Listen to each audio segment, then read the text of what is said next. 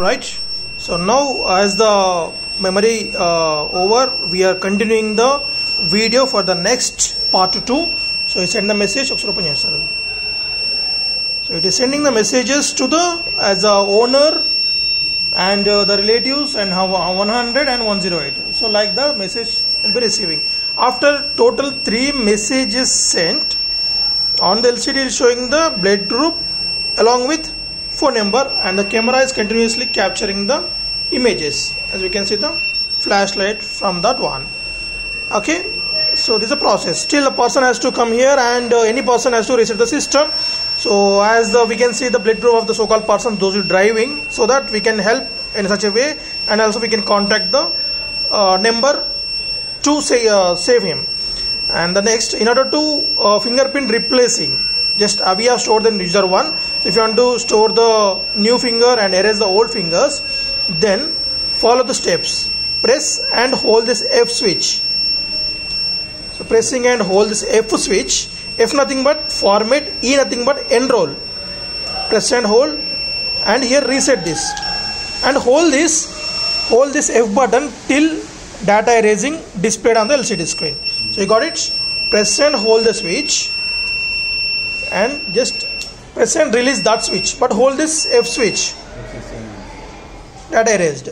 Same now data got erased so no whole fingers prints were there.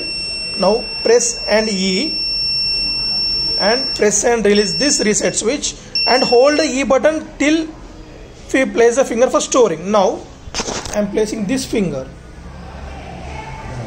Place place it till it display the stored at 01 right stored at 01 if it is shows the stored at 02 instead of 01 again format and enroll. So like that we should follow these steps till we should get the 01 here. And after that you can store n number of your one because only user one was provided access for the vehicle. So this is a process. And after storing that now reset. Without holding any button just reset it. Now the system will work as normally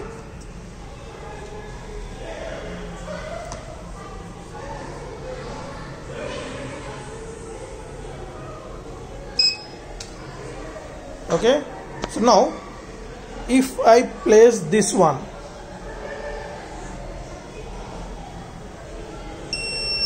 it doesn't exist. Uh, let us enroll another finger also. User 2 so i'm placing this me finger as user 2 place it. Don't remove that. Clean the finger properly. So user 2 now reset the system. So if the finger was not stored id doesn't exist message will be displayed. Sorry wait. Wait uh, till the show rfid tag message displayed on the lcd right okay. Now id 1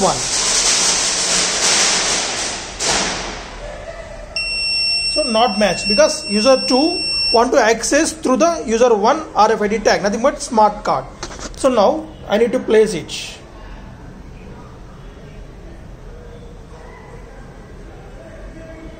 Now then only the vehicle will start. Otherwise it will show the not matched. So in this manner we can format enroll and the main thing is you should remember while we are storing the fingerprint one it should show the stored at 01 till that you should place your finger after formatting.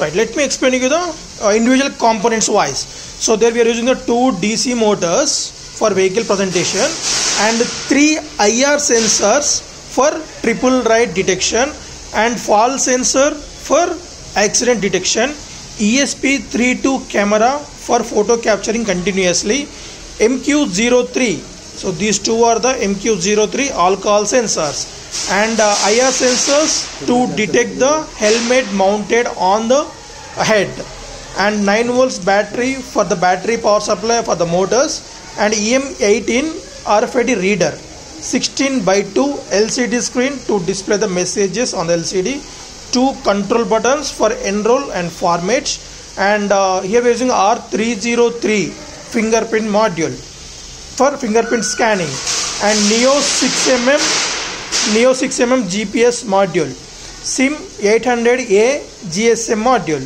and pic 16f uh, 4620 sorry 800 microcontroller which will taking care of input and output modules. And this is the buzzer whenever the accident and alerts were placed. And uh, this one is the MOSFET to control the DC motor ignition unit. Right. So when we want to off the engine then the MOSFET will be uh, getting trigger from the controller and it will off the uh, motor vehicle ignition directly